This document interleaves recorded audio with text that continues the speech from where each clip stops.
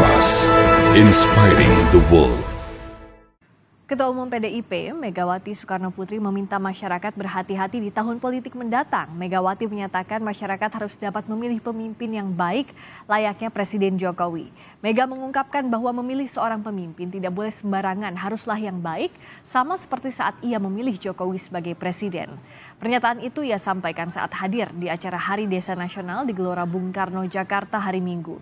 Mega meminta masyarakat tidak terbawa arus dan memiliki pendirian yang kuat untuk memilih sosok pemimpin yang berkualitas. Ini tahun-tahun ini politik. Kenapa? Karena orang lagi mikir, aku melu no kono atau aku melu kono. Atau melu dua-duane, pusing akhirnya pingsan dewe. Gitu loh. Jadi jangan terbawa arus. Pilih orang yang baik. Seperti Pak Jokowi itu kan saya pilih karena saya yakin beliau orang baik. Oke, okay? nah, saya jadikan bisa ngatur pemerintah. Tentu semua itu tidak bisa disenangkan. Pro kontra pasti ada.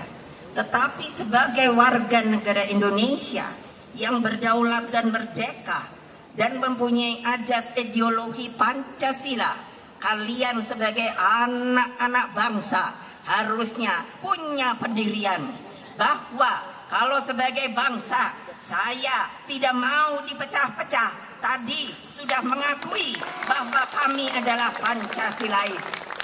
Ikutin kalau nggak mau ikut nggak apa-apa. Bilang tapi jangan sembunyi. Banyak orang sekarang yang menurut saya munafik.